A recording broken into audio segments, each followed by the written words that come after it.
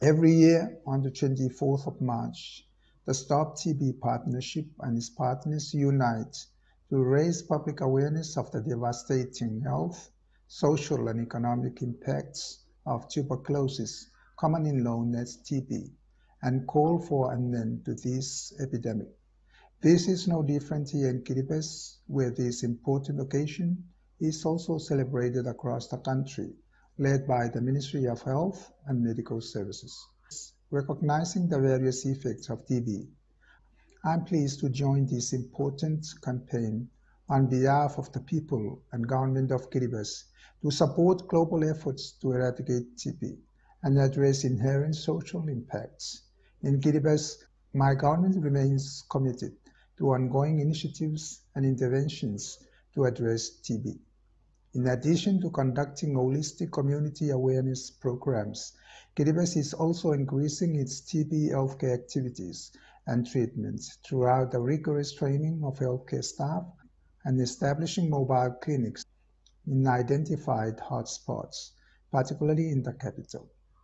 There are certain hotspot areas in the country, including densely populated areas now accessing TB healthcare services to ensure that our geographical remoteness does not impede our national efforts in combating TB.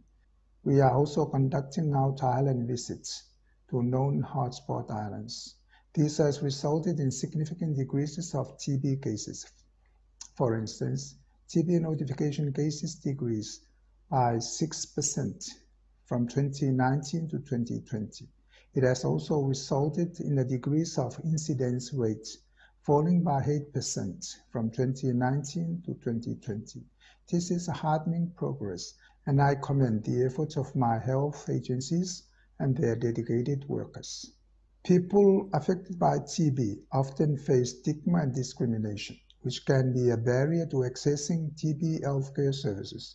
Most of those who have TB, more often than not, tend to hide their condition from family members, friends, and colleagues for fear of rejection and being neglected.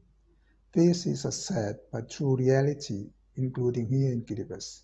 Those living with TB should not experience fear of their condition, but rather should feel encouraged to seek help and treatments, and my government continues to address this matter through awareness campaigns. Ultimately, it remains our collective responsibility as governments, as organizations, and as individual members of our global community to create a TB-friendly environment where those living with TB feel welcome and free to seek treatment. The UN Political Declaration on TB included a pledge to provide 15 billion US dollars in annual funding for TB prevention, diagnosis, treatments, care, research, and development. However, less than half of this amount has been delivered to date. Without this funding, global agencies will not be able to create the necessary infrastructure to strengthen the response around the world to airborne infections like COVID-19 and TB. And thus my government joins collective action by the UN member states and echo calls made to development partners to mobilize resources and take action now to reinforce global efforts to tackle tuberculosis worldwide.